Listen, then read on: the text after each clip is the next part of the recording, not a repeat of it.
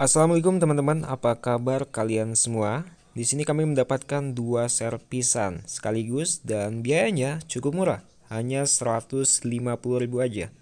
Kok bisa murah sih? Ini part yang disediakan oleh user. Yang pertama di sini kita melakukan pergantian baterai.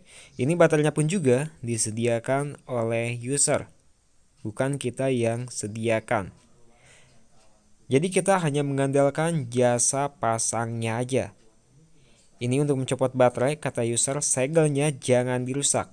Oke lah, jadi kita hanya mencopot baut bagian bawah aja ya. Nah, seperti ini.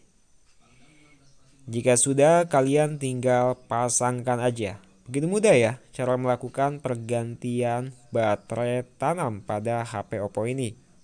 Kita tinggal tarik, lalu kita tinggal pasangkan seperti ini. Ini tanpa kita melepas segel dari HP sama sekali. Jadi cukup mudah sekali. Nah, tapi dengan cara ini agak sedikit susah juga untuk uh, paskan ya si konektor dan fleksibelnya itu agak sedikit sulit. Tapi di sini akhirnya bisa juga dan sudah muncul Realme. Jadi HP ini sudah bisa melakukan pergantian baterai dengan sangat-sangat cepat. Dan ini sudah kita siapkan kembali dan kita tinggal eksekusi HP yang satunya lagi. Ada akun Google yang harus kita bypass juga, cukup bayar 50.000 aja di sini menggunakan Hydra Tool.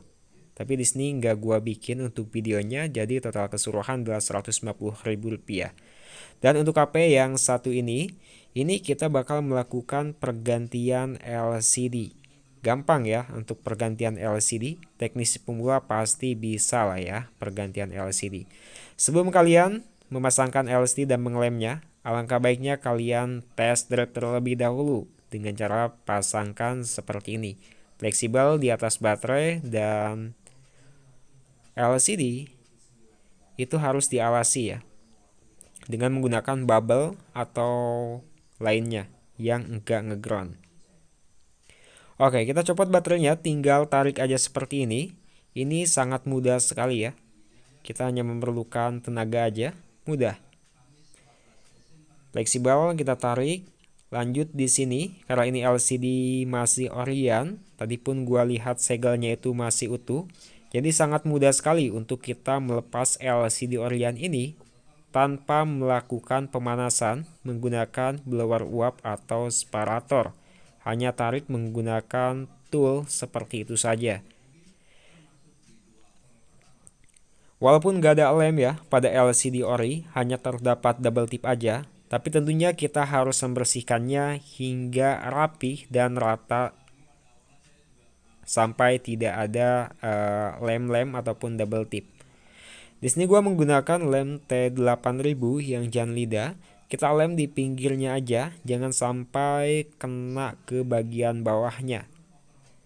Jadi kalau misalkan kita kena ke bagian bawahnya, takutnya menghambat ke presisian LCD karena di bagian frame, tulangan LCD bagian bawah itu sudah pas untuk LCD, tidak untuk lem.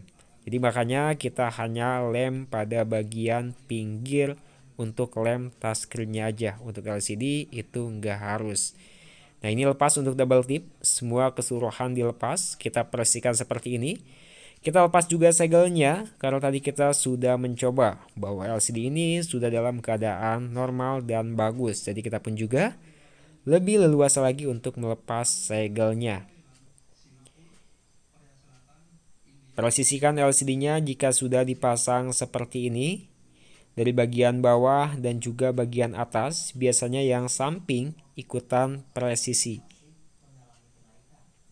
Nah, jika sudah, di sini kalian siapkan untuk baterainya ya, dan jangan lupa buat fleksibel ke konektornya itu disambungin dulu.